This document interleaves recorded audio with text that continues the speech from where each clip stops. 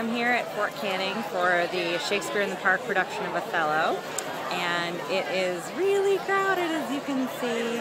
But um, behind me is the stage. It's uh, really interesting. Zura told us about the shipping containers before, but it's really cool to see it now. And we have a nice picnic dinner, uh, salmon, couscous, hummus, cheese, and uh, I last year they sold uh, ice cream. Hopefully they're still doing that. Um, but yeah, our friends are up, set aside a really nice spot for us. We have this whole big area. So, and we're right, I mean, right in the middle, right behind all the VIP Audi things. But um, I'm really excited. I made a sign for her, and uh, it's gonna be great.